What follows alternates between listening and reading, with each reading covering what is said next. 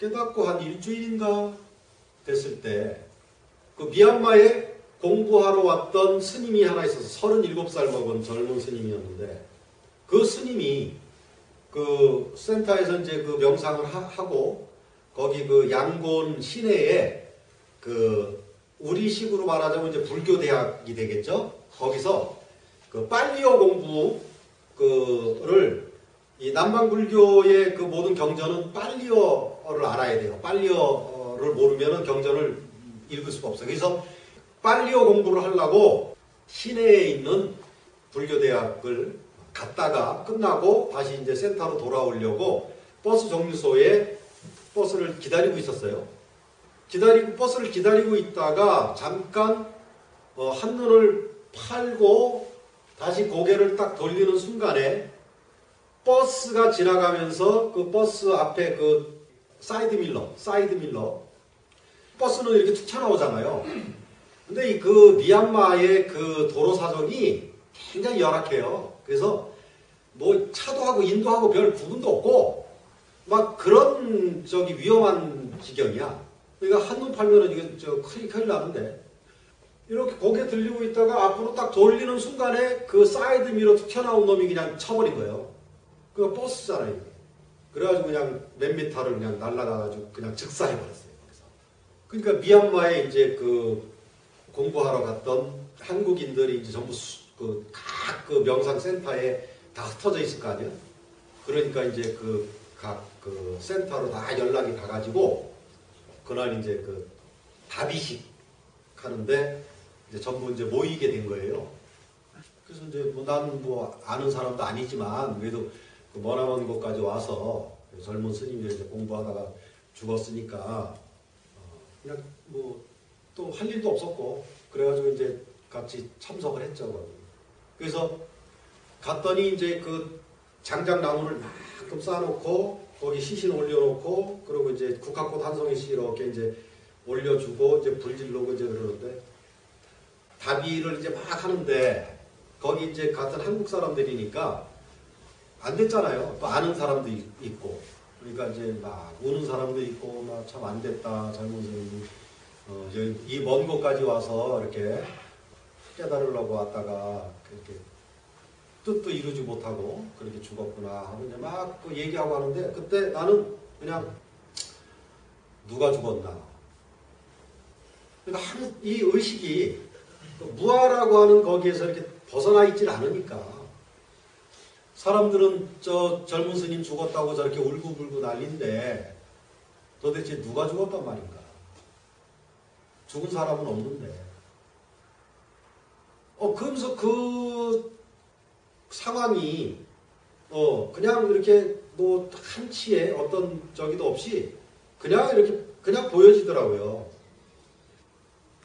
그러니까 죽음이라고 하는 것이 우리가 현상적으로 살아있던 사람이 죽으니까 감정적으로는 슬플 수 있어요. 그것이 또 가족이라든지 내가 아는 사람이라든지 이랬을 때에는 그 슬픈 감정이 더 크겠죠. 그 감정은 일어날 수 있는 거예요. 그거는 그거는 현상 세계의 메커니즘인 거예요. 깨달은 사람은 뭐 누가 가족이 죽어도 울지도 말아야 되고 뭐 그런 거 아니에요. 어 그런 거 자체가 하나의 틀이라고. 아니 슬프면은 우는 거죠. 눈물이 나는 거지. 근데 깨달은 사람은 울면 안 되고 뭐 화도 내면 안 되고 싸워도 안 되고 욕도 하면 안 되고 그 그런 법을 누가 만들어 놨는지 난 모르겠어. 근데 그게 웃기는 게 뭐냐면 깨달은 사람이라고 하는 또 그 어떤 개체성을 또 지금 얘기하고 있잖아요. 그죠? 그러니까 이게 얼마나 웃겨요. 이 무아를 진짜로 모르면 그런 데서 자꾸 이렇게 헛발질 하는 거예요. 깨달은 사람? 그 뭐요? 개체가 깨달았다는 거예요? 깨달은 사람이라는 그 실체는 없어요. 그러면 해공은 뭐예요? 깨달았다고 지금 여기 앉아서 잘난 체 하고 있는 해공은 뭐예요? 여러분 앞에서 잘난 체 하고 있는 이 해공은 깨달은 사람이라는 배역을 맡은 캐릭터예요, 캐릭터. 캐릭터. 석가모니는 2500년 전에 깨달은 사람이라는 그 연극 속의 캐릭터, 깨달은 사람이라는 배역을 하다가 가버린, 사라진 허상이고, 석가모니는 허상이에요. 그 석가모니를 연기했던 그 배우, 그게 절대지. 그거와 마찬가지로 지금 해공의 역할을 하고 있는 그 배우는 누구요? 절대요. 그 역할자가 절대지. 지금 이게 눈에 보이는 인식되어지는 현상체로서의 이 해공은 이거 허상이에요. 연극 속의 등장인물, 캐릭터예요, 이건.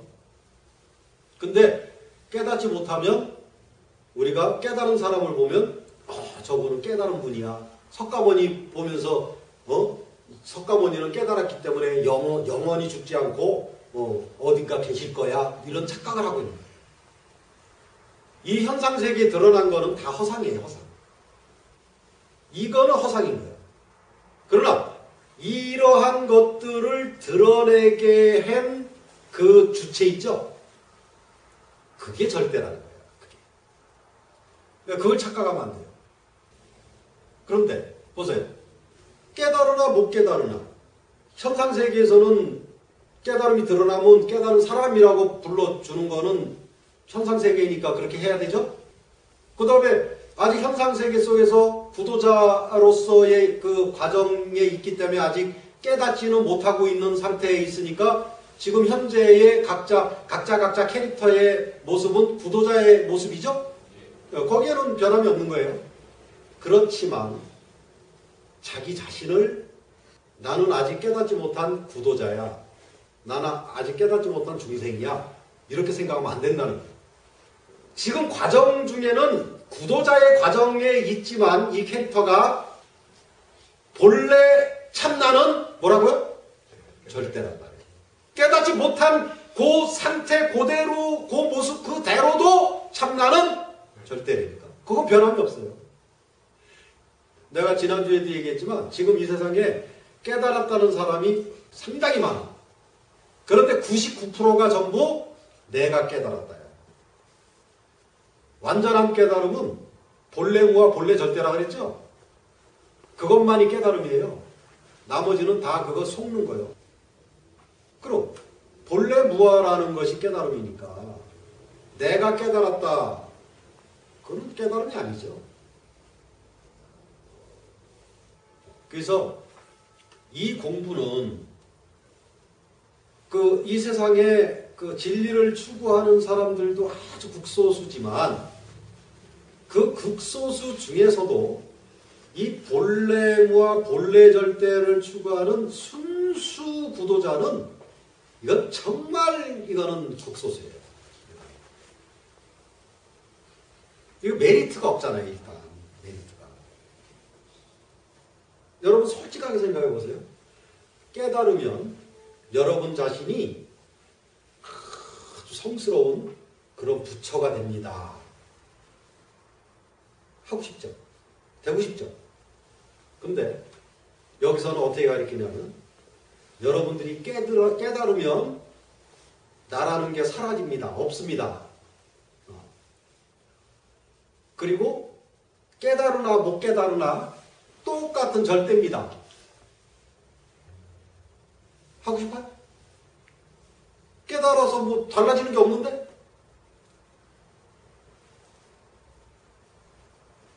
이게 순수진이에요. 깨달으나 못 깨달으나 차별 없이 본래 절대다.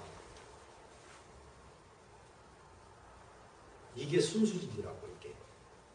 깨달으면은 성스러운 존재되고 깨닫지 못하면 중생이고 뭐 또뭐 윤회에서 뺑뺑이 돌아야 되고 그런 게 아니에요.